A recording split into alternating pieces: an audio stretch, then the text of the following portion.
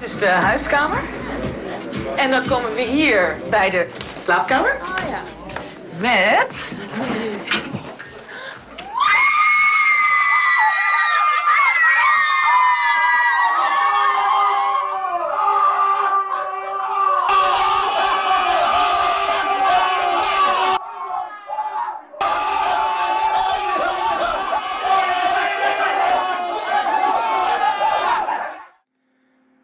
Welcome to Beer Fan TV. Uh, this is another video. This is Heineken out of the bottle um, versus Heineken um, out of the sub. Um, does it taste any different? Is it worth spending eight pound, you know, two pound eighty three or eight pound forty nine for three and a half pints of beer, or should you just get yourself down to your local supermarket and get it in the bottle? Is there a taste difference? Is there a quality difference? If you want to find out, join me. Take a seat, pull up a pew, whatever you want to do. Get yourself a drink. Join me. Let's find out.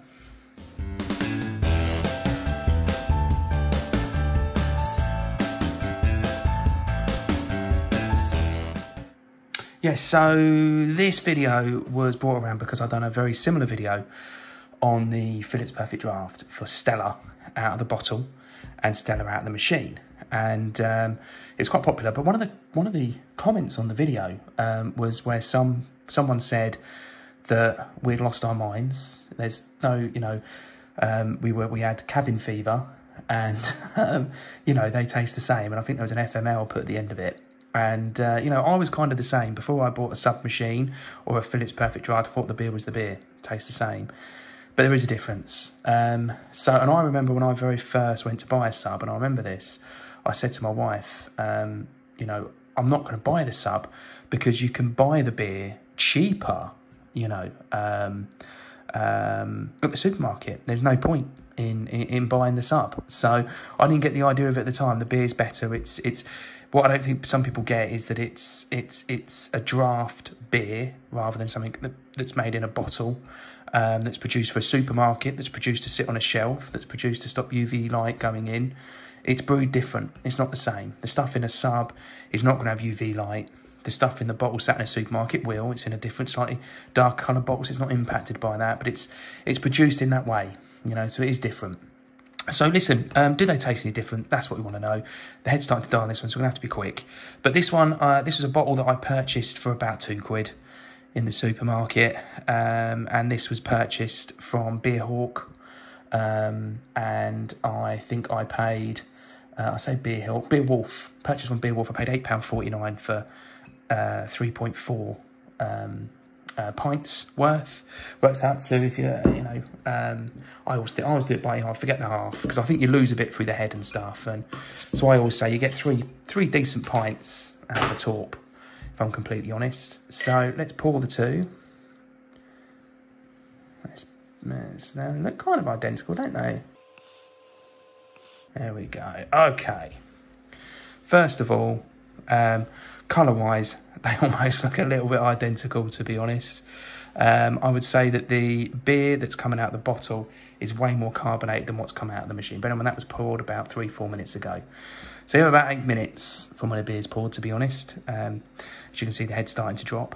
Um, but yeah, look very, very much identical. Quite sort of, um, it, it, it's a pale sort of beer, isn't it? Pilsner, if you like. Um, creamy white head. Smell-wise, Smells quite nice, smells like a beer. I'll put a bit too much head on this one, give it to some. Very similar sort of smell. Nothing major different between the two, if I'm completely honest.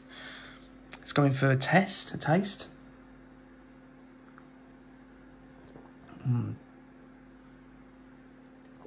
So that's that's a really nice cold beer. I mean, that's stored in a, in that fridge there four degrees and then put into the machine and it pours it. I think it's three degrees. This has been kept at four, very similar temperatures to be honest. This out of the sub is a nice beer. The first time you ever have one and you pour yourself a half, you'll notice straight away it tastes like a pint that you've got in a pub. It's like a draft pint. And you notice it straight away. The glass is cold. It's like something you're getting, you know, you get the condensation on the glass. It tastes like a, a draft beer. Mm. It's nice, it's smooth, it's easy drinking. Heineken's a nice, easy drinking lager, to be honest. out the bottle. The head's already started to drop, not a major problem. The liveliness, it has calmed down a bit. And let's go in for a sip.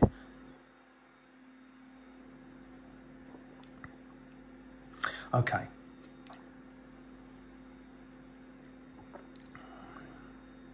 There is a difference in taste.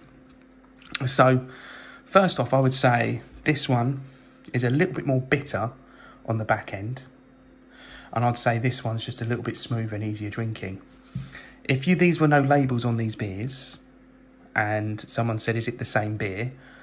You could you can tell the difference. It's not the same beer.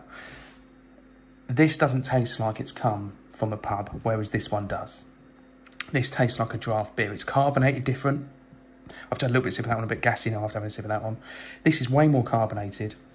And I think if you're on this for a session, I think you spend a bit of time barping and uh, farting and burping in the evening.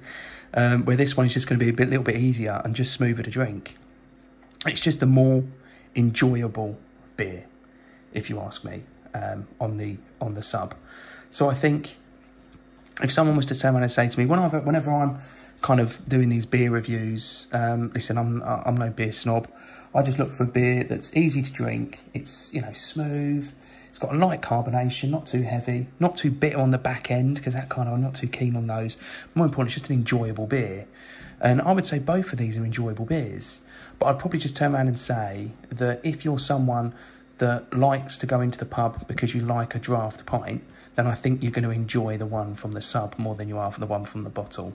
So my advice, if you've got the sub machine, don't hesitate in getting yourself one of the torps of the sub. And if you really are into your lagers and you're thinking about getting one of these sub machines, I definitely recommend doing it. They're fantastic. You know, people ask the question all the time, do I get the sub or do I get the perfect draft? Um, or do I get the bigger brother, the blade? Um, the only reason why I don't have the blade is because you get the same beers on the sub that you get on the blade. Um, the big difference being though is the, the the sub. The downside to the sub is it's only two litres of beer. Whereas, you know, you go you for the blade, it's kind of eight litres. And that's quite a lot of the same beer. I quite like, one of the big things I do like about these machines is just the variety.